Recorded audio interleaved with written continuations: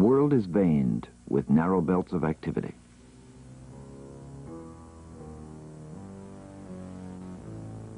The inactive areas are immense plates, rigid slabs of the Earth's crust approximately 60 miles thick. Sitting upon a number of them, appearing like protrusions, are the continental masses.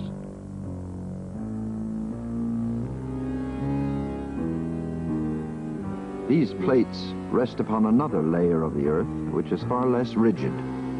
Riding on this layer, the plates are actually floating.